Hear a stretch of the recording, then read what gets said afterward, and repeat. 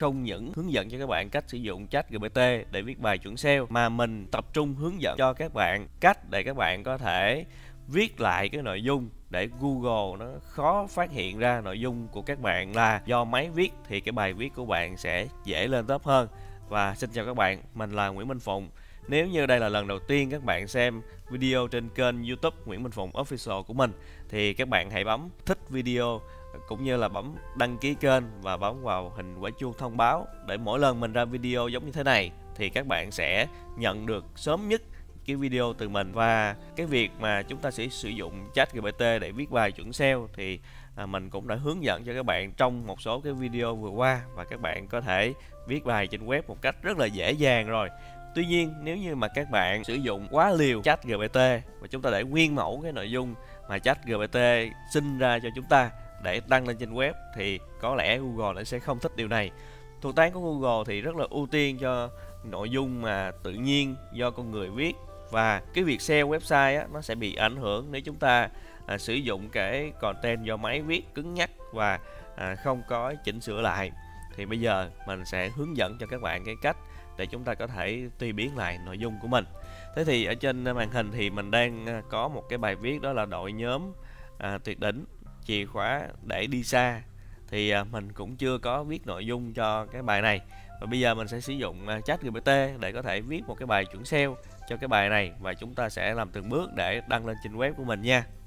Đầu tiên thì mình sẽ à, nhập cái câu lệnh để chat GPT viết bài cho chúng ta. Và mình đã nhập cho chat GPT các câu lệnh như thế này. Viết blog 800 từ có đầy đủ các H2 nội dung chuẩn SEO về chủ đề xây dựng nội nhóm tuyệt đỉnh chìa khóa để đi xa. Và bây giờ mình sẽ gửi cho chat GPT xem chat GPT đã viết bài cho mình như thế nào nha. Rồi. Đó chat GPT đang viết cho chúng ta rồi các bạn. Sau khi chat GPT sinh ra à, nội dung cho chúng ta thì à, các bạn sẽ thấy bài viết nó được trình bày như thế này. À, chúng ta sẽ có cái à, đoạn mở đầu nè cái này là cái đoạn mở đầu ha cái này là cái uh, những cái phần la mã này chính là những cái h2 nha các bạn. À, đó. Rồi à, và có thể là những cái phần này là những cái phần h3 nó sẽ có những cái phần uh, tiêu đề cho cái hai chấm này thì các bạn có thể dùng làm h3 nè. Hoặc là các bạn không cần phải có h3 mà các bạn uh, sử dụng cái đoạn liệt kê này cũng được. Đó thì đây chính là cái nội dung mà chat GPT nó đưa cho chúng ta. Rồi thì à, giả sử các bạn cần đưa lên trên web thì chúng ta sẽ à, copy ha và đưa qua trên à, website. À, sở dĩ mà mình làm cái bước này là mình muốn là trình bày cái nội dung này cho nó đẹp mắt ở trên web để mình hình dung ra là cái bố cục cái bài viết này trên web nó như thế nào. Và mình sẽ giữ lại hoặc là mình sẽ bỏ đi những cái nội dung mà mình nghĩ là nó sẽ không phù hợp. Rồi, sau khi mà mình đã copy từ à, chat GPT qua web như thế này rồi, thì mình sẽ dành thời gian để mình sẽ chỉnh sửa một tí xíu để cho cái bài viết nó đẹp hơn. Khi các bạn đã định dạng bài viết trên web của mình rồi, thì chúng ta đã hình dung được cái bố cục cũng như cái cách trình bày của cái bài viết này trên web. Bây giờ thì mình sẽ hướng dẫn cho các bạn cái cách để chúng ta có thể kiểm tra xem là cái bài này có tỷ lệ là bao nhiêu phần trăm là do máy viết và bao nhiêu phần trăm là tự nhiên. Và chúng ta sẽ viết lại cái bài viết này để cho nó được tự nhiên hơn và Google nó sẽ khó phát hiện ra là chúng ta đang dùng AI để viết. Để kiểm tra xem cái đoạn văn bản nó có phải được là AI viết hay không thì các bạn có thể sử dụng một cái công cụ đó là công cụ originality.ai để chúng ta có thể à, kiểm tra à, cái cái mức độ viết bởi AI à thì làm như thế nào? Để có thể kiểm tra bằng cái công cụ này thì đầu tiên thì chúng ta cần phải có một cái à, tài khoản nha. Thì các bạn bấm vào cái đường link ở dưới phần mô tả của cái video này để chúng ta có thể truy cập vào được cái trang này nha. Và à, các bạn sẽ bấm vào nút sign up sau khi mà các bạn à, truy cập vào cái trang này. Rồi thì à, ngay chỗ này là cái giao diện dành cho người đăng ký thì các bạn sẽ nhập tên của mình vào này nhập tên vào. Rồi, nhập email của các bạn vào.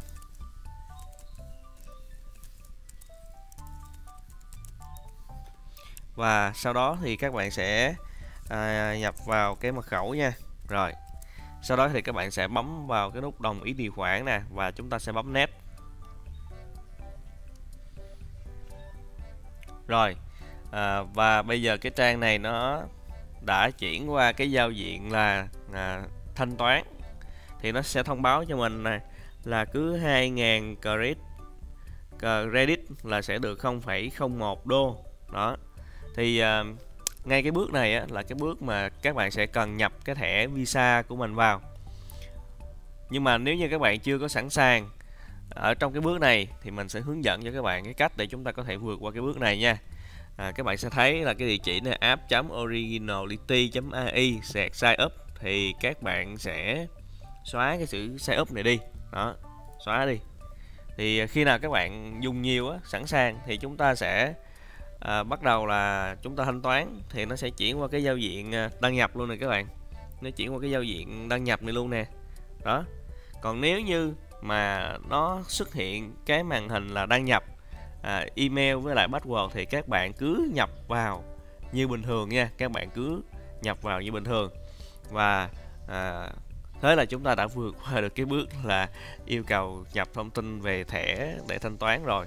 À, thì làm sao để biết được thì các bạn sẽ vào my content scan này để chúng ta có thể à, nhập cái tiêu đề bài viết và nhập cái cái cái nội dung vào nhập cái nội dung vào để nó có thể quét là à, cái tỷ lệ bao nhiêu phần trăm là người viết hay là bao nhiêu phần trăm là AI đó thì đây chính là cái cách đơn giản nhất để chúng ta có thể sử dụng cái công cụ là originality để chúng ta có thể kiểm tra à, cái văn bản đó ừ, có phải là do máy viết hay không. Đó.